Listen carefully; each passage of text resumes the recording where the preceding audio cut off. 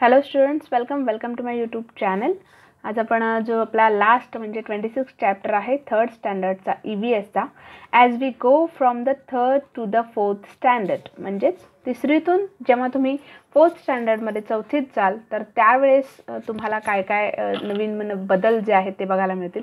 तर हे आपण आजच्या या चॅप्टरमध्ये पाहणार आहोत. So let start can you tell when you are grown up what do you want to be म्हणजे तुम्ही जेव्हा मोठे व्हाल ग्रोन वा मोठे व्हाल तेव्हा तुम्हाला कोण व्हायचं असेल? किंवा कोण व्हावंसं वाटत असेल? In a previous lesson you drew a picture of how you would look after twenty years that was imaginary because no one knows how you will look after 20 years. However, what do you wish to be when you grow up? What do you want to achieve? That is something you can decide for yourself, but to achieve it, you must learn a lot. You will have to work very hard. म्हणजेच काळाची समज हा आपला last जो chapter होता previous chapter यामध्ये तुम्ही वीस वर्षानंतर कसं दिसाल याचं एक चित्र काढलं होतं तर ते चित्र जे होतं ते इमॅजिनरी होतं ते काल्पनिक होतं कारण तेव्हा तुम्ही खरेच कसे दिसाल हे कोणालाच माहीत नसतं.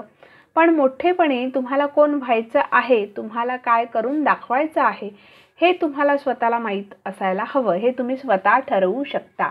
पण त्यासाठी तुम्हाला खूप शिकलं पाहिजे खूप मेहनत घेतली पाहिजे. You will have to work very hard okay now learning does not mean only going to school शिकणं म्हणजे काय? फक्त शाळेत जाणं एवढंच नसतं. We learn at school of course आपण शाळेत तर शिकतोच. But we also learn from our elders at home पण आपण आपल्या वडील माणसांकडून घरीसुद्धा शिकतो. We can learn from the environment too आपण या एन्व्हायरमेंटकडून आपण या परिसराकडून सुद्धा शिकतो. That is why we study the environment आणि म्हणूनच आपण परिसराचा अभ्यास जो आहे तो करतो. केअरिंग फॉर द एन्व्हायरमेंट परिसराची काळजी घेणं. So our environment does not belong to us alone म्हणजेच आपलं जे एन्व्हायरमेंट आहे हे अं, फक्त आपल्या एकट्याचंच नाही आहे right it belongs to others too तो इतरांचं सुद्धा आहे. It takes care of all our needs that is why taking care of the environment is our duty we must take care of our self our home and our school to begin with then all our surroundings will become beautiful right म्हणजे परिसराकडून सर्वांच्याच गरजा ह्या आपल्या भागवल्या जातात. आणि म्हणूनच आपल्याला आपल्या अवतीभोवतीच्या परिसराची काळजी घेतली पाहिजे हे आपलं कर्तव्य आहे. आधी आपण स्वतःची आपल्या घराची शाळेची काळजी घेतली पाहिजे. आणि मग आपला जो परिसर आहे तो त्यानेच सुंदर बनेल. Okay we must use things we receive from the environment carefully that is why we must never waste food or water परिसरातून ज्या आपल्याला गोष्टी मिळतात त्यांचा आपण जपून वापर केला पाहिजे. आणि म्हणून अन्न आणि पाणी यांची आपण कधीच नासाडी करू नये. Okay?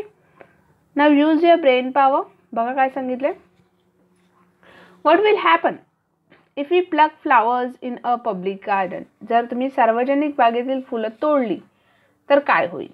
Then what will happen if we throw garbage from our home on to the road जर आपण गार्बेज म्हणजे केर कचरा जो आहे तो रस्त्यावर फेकला तर काय होईल? त्यानंतर बघा काय सांगितलंय.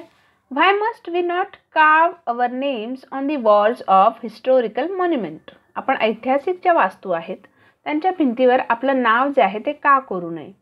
Why must we not throw plastic carry bags and bottles here and there आपण प्लास्टिकच्या ज्या वस्तू आहेत प्ला पिशव्या किंवा बाटल्या ज्या आहेत त्या इकडे तिकडे का फेकू नयेत? Okay now can you tell what do you like about your environment and why म्हणजे तुमच्या परिसरात तुम्हाला अशी कोणती गोष्ट आहे जी आवडते आणि ती का आवडते?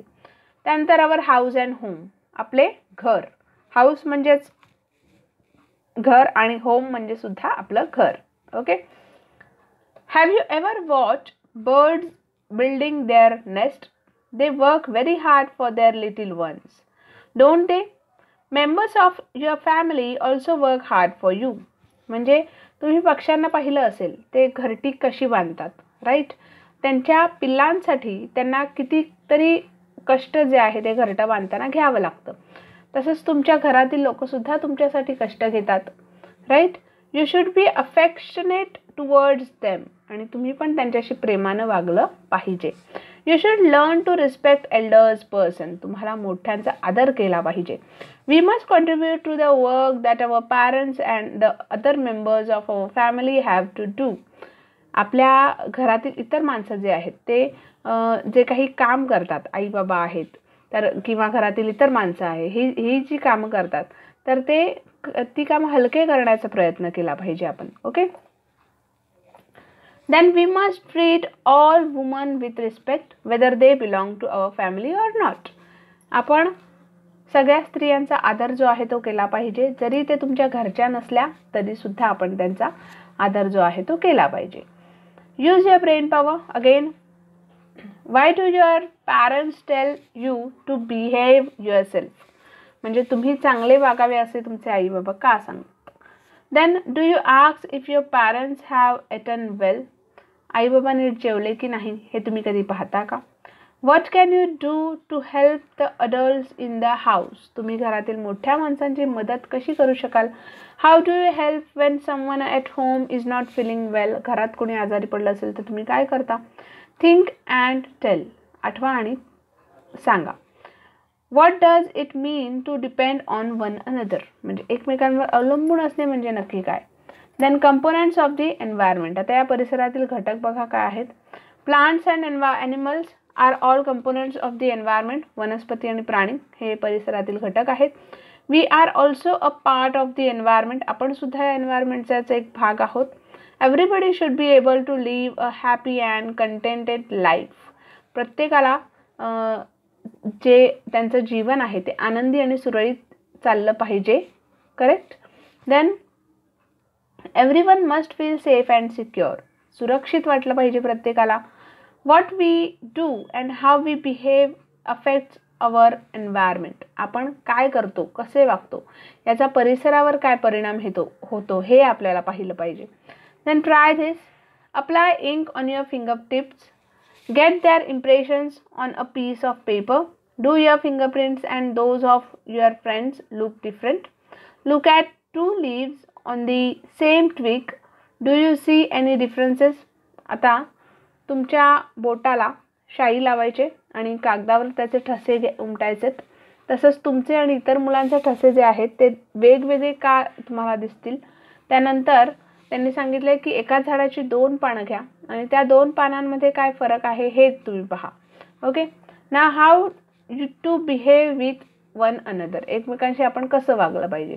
See all the leaves of one tree are not identical okay are not identical. Some of them are big while some are small एकाच झाडाची पानं जी आहेत ती सारखी नसतात. काही लहान असतात तर काही मोठी असतात. Some have slightly different colours काहींचा कलरसुद्धा जो आहे तो किंचितचा निराळा असतो.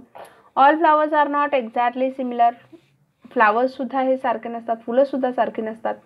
It is the same with people आणि हे माणसांचं सुद्धा असंच आहे.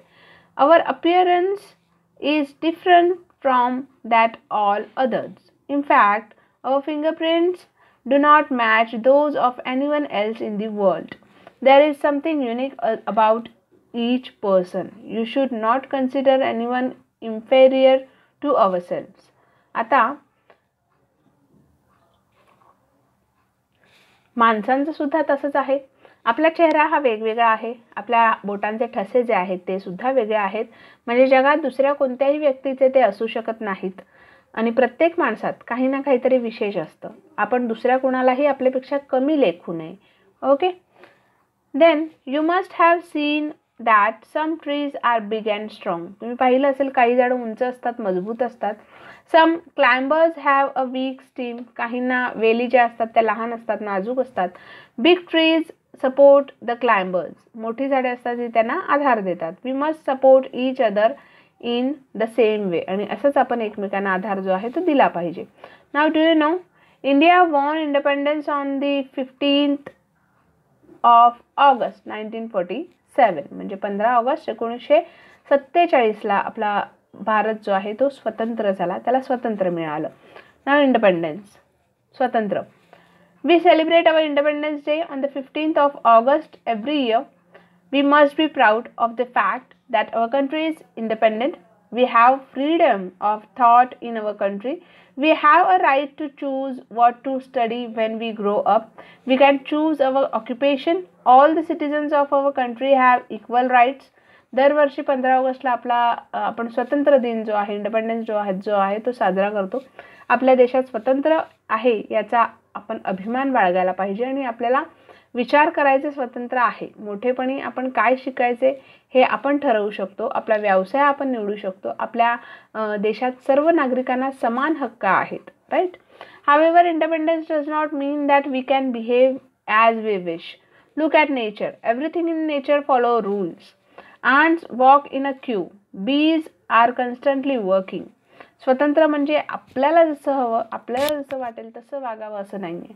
निसर्गाकडे पहा. निसर्गात सगळे नियमानुसार घडतं. मुंग्या ह्या मुंग्या ज्या आहेत त्या व्यवस्थित अगदी रांगेत चालत असतात. मधमाशासुद्धा सारखं काम जे आहे ते करत असतात.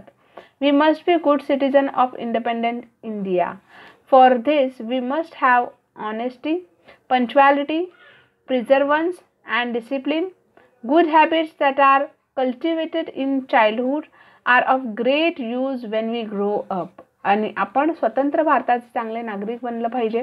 त्यासाठी आपल्यात प्रामाणिकपणा वक्तशीरपणा चिकाटी शिस्त ही असली पाहिजे. लहानपणी लावलेल्या ज्या सवयी आहेत चांगल्या सवयी या मोठेपणी कामी येतात. Okay now use your brain power what are the advantages of queue over a crowd गर्दीच्या ठिकाणी रांगेत उभं राहून काम करण्याचे कोणते फायदे असतात?